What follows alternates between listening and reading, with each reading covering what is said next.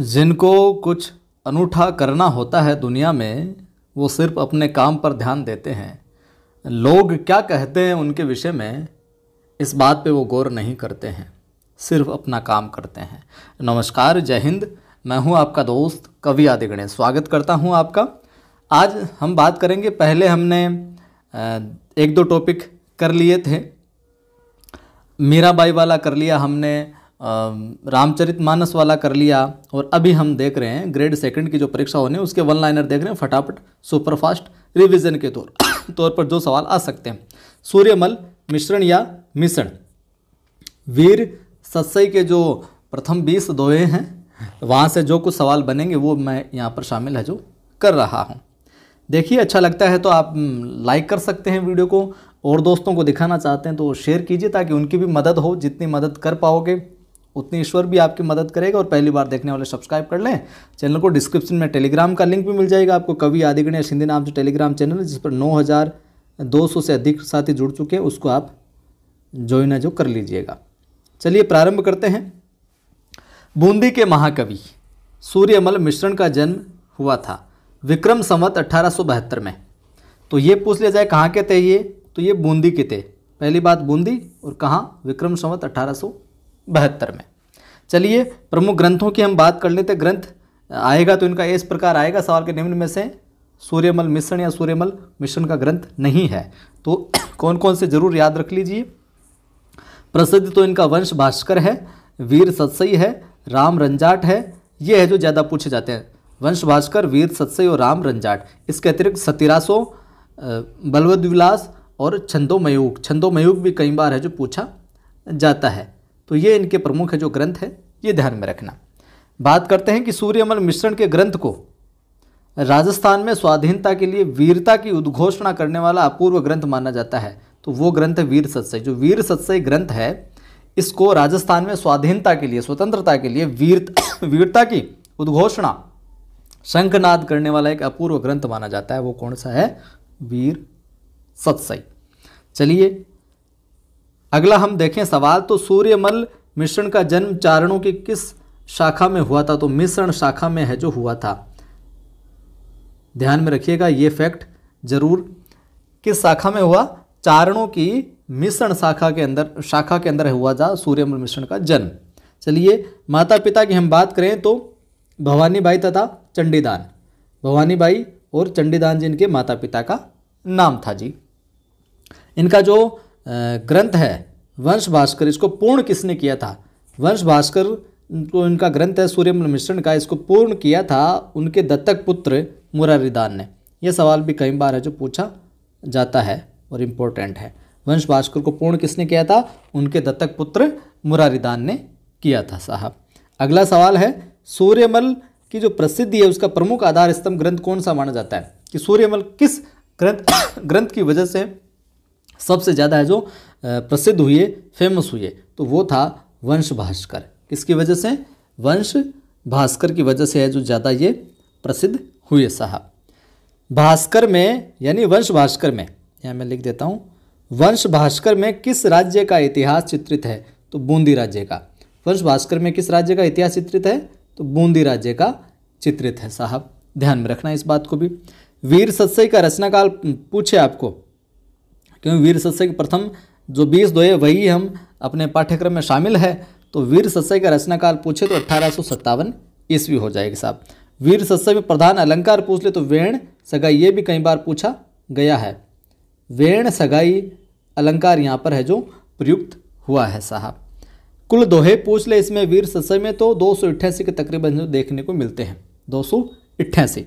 चलिए, अब जो इनके दोहे हैं वहाँ से क्या कुछ सवाल बन सकते हैं, वो शामिल किए हैं। तो ध्यान से देखिएगा आप कि लाऊं पर सिर लाज हूँ, सदा कहाऊँ दास, और गणवई गाऊँ तुझ गुण, पाऊँ वीर प्रकाश। प्रस्तुत दोहे में सूर्यमल मिश्रण द्वारा किसकी वंदना की गई है? तो श्री गणेश जी की वंदना है जो यहाँ पर की गई है। लाऊं पर सिर लाज हूँ, सदा कहाऊँ दास, गणवई गाऊँ तुझ गुण, पाऊँ वीर प्रकाश। श्री गणेश जी की वंदना है, जो की गई है। सवाल है अगला, आणी उर जाणी अतुल गाणी करण अगूढ़। आणी उर जाणी अतुल गाणी करण अगूढ़। वाणी जग राण वले मैं चिंताणी मूड प्रस्तुत पंक्तियों में मिश्रण द्वारा किसकी वंदना की गई? तो देवी सरस्वती की है, जो वंदना की गई है। किसकी वंदना की गई? देवी सरस्वती की वंदना है, जो यहाँ पर की गई है साहब। अगला सवाल देखिए कि आणी उर जाणी अतुल गाणी करण अगूढ़, वाणी जग रणवले मैं चिंताणी मूड चिंताणी। यहाँ पर रेखांकित जो पद है, इसका अर्थ क्या है? चिंतन या ध्यान। चिंताणी का क्या अर्थ हो जाएगा? चिंतन या ध्यान। देखिए, या तो सीधा सीधा सवाल पूछ लिया जाएगा, या फिर आपको दोहे देखकर रेखांकित कोई ना कोई पद है जो रेखांकित करके वहाँ पर वहाँ से उस पद का जो अर्थ है जो पूछा जाएगा आपको। तो चिंतन या ध्यान। अगला अपना सवाल है वैण सगाई यहाँ पर इसको रेखांकित कर रखा है मैंने हाईलाइट भी कर रखा है। डार्क वैण सगाई वाल या पेखी जे रसपोस और वीर हुतासण वोल में दिस एक न दोष। तो रेखांकित पद से तात्पर्य क्या वैण सगाई? वैण सगाई से तात्पर्य क्या हो जाएगा? एक डिंगल काव्य का एक प्रसिद्ध अलंकार है। डिंगल काव्य का। ठीक है, किसका? डिंगल काव्य का। बेकम वर्षा बीतियो गणसो चंद गुणीस और बिसहर तिथ गुरु जेठ बदी समय पलटी शीस कहीं बोलने में त्रुटि भी हो सकती है, मैं प्रयास कर रहा हूँ कि जल्दी से आपको फटाफट तरीके से ये करवा दूँ ताकि आपके समय ज़ाया नहीं हो। बीकम वर्षा बीत या गण सोचंद गुणीस बिसरतित गुरु जेठ बदी समय पलटी शीस तो यहाँ पर रेखांकित पद से यहाँ, रेखांकित जो पद है, किस ओर संकेत किया किया गया है? पूरे दोहे को जब आप देखोगे तो रेखा समय पलटी शीस तो यहाँ पर जो ये रेखांकित है, डार्क किया हुआ है ये किस ओर संकेत करता? तो ये करता है अठारह जो गदर कालीन परिस्थितियाँ थी, उनकी ओर जो संकेत है जो किया गया, अठारह की उस तत्कालीन परिस्थितियों की ओर। सवाल है, इक डंकी इक डंकी गिण ओकरी, भूले कुल स्वभाव सूरह आलस जैस में अकज गमाई, आ। तो रेखांकित पद का अर्थ क्या हो जाएगा? एक छत्र शासन। ये सवाल पूछ लिया कि रेखांकित पद का अर्थ बताओ एक डंकी, एक छत्र शासन। डंका की चोट पर, एक डंकी यानी एक छत्र शासन। ठीक है? अगला सवाल देखिए। एक डंकी गिण ओकरी भूले कुल स्वभाव और सोरा आलस जैस में एकज गमाई आव। जो ये पंक्तियाँ इनमें किनके एक छत्र शासन? एक डंकी का अर्थ पूछ ले तो एक छत्र शासन हो जाएगा, ठीक है, रेखांकित पद। लेकिन पूछ ले पूरा देखकर इन पंक्तियों में किनके एक छत्र शासन की बात की गई? तो अंग्रेज़ों के एक छत्र शासन की जो बात की गई है यहाँ पर। अगला है, सत सई दोहा मई मिश्रण सूरज माल जपे बड़ खाणी, जठे सुने काय रासार। तो इस दोहे में रेखांकित जो पद है, कौन सा? भड़खाणी रेखांकित पद का अर्थ बताना है। तो इस रेखांकित पद का अर्थ हो जाएगा, वीरों को खाने वाली, या फिर जिसे सुनकर योद्धा है जो वीरता से भर जावे और प्राण देने को है जो तैयार हो जाए। वो मतलब ये मतलब हो जाएगा भड़खाने का। ये सवाल भी बहुत महत्वपूर्ण है। पूछा जा सकता है, ध्यान में रखना। अगला देखिए। सत सई दोहा मई मिश्रण सूरज माल।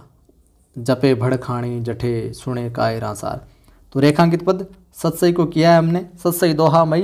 तो सत्सई का अर्थ हो जाता है सामान्य सा, कई बार पूछा गया, सात सौ छंदों के संग्रह वाला ग्रंथ। कौन सा? सात सौ छंदों के संग्रह वाला ग्रंथ। सवाल है, नथी रजोगुण ज्या नरा, ना ना पूरो उफाण, वे भी सुनता उफणे पूरा वीर प्रमाण। प्रस्तुत दोहे में किस रस की है जो निष्पत्ति हो रही है? तो वीर रस की। किस रस की? वीर रस की। ये दे दिया, रस पूछ लिया आपसे।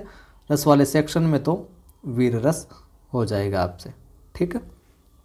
सवाल है, जे दो ही पख उजला, झुंझुन पूरा जोध। पंक्ति में किन दो पक्ष या पक्ष की जो बात की गई तो मातृपक्ष और पितृपक्ष।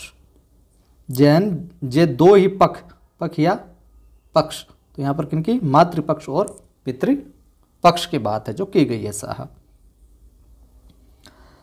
अगला सवाल है, दमंगल बिण अपचोदियण वीर धनी रोधान और जीवन धन बालाजी का छोड़ो जहर समान। दो में रेखांकित पद का अर्थ रेखांकित पद यानी दमंगल। दमंगल यानी युद्ध। दमंगल यानी युद्ध। जब आम बोल चाल में फिर है जो दंगल भी कहने हैं, जो लग गए थे।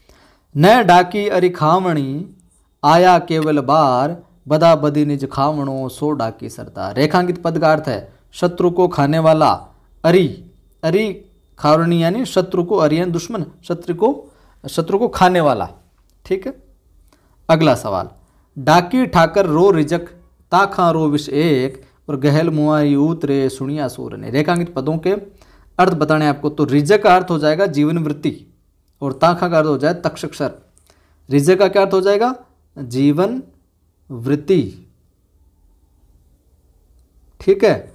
और ताखा का हो जाएगा तक्षक सर्प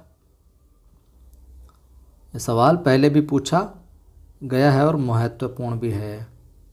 ध्यान में है जो रखिएगा आप। अगला देखिए साहब कि दूध लजाणो पूत सम। दूध लजाणो पूत सम बलय लजाणो ना है और पंक्ति में जो रेखांकित पद है, यानी ना है, इसका अर्थ क्या हो जाएगा? स्वामी या पति। ये भी ध्यान में रखना इम्पोर्टेंट है। बलय लजाणो ना है ना है यानी स्वामी या पति। अगला है समली। रेखांकित पद है समली। समली और निशंक भक, अंबक राह में जाह, रेखांकित पद का अर्थ है चील। समली यानी चील। ये भी पूछा है जो जा सकता है। बहुत अच्छा सवाल बन सकता है। अगला और अंतिम सवाल है इसका। वीर सत्सई सूर्यमल मिश्रण वाली का सत्सई दोहा मई, मिश्रण सूरज माल, जपे बड़खाणी जठे सुने कायरा साल दोहे में किसका वर्णन किया गया? ओवरऑल वर्णन पूछ हो।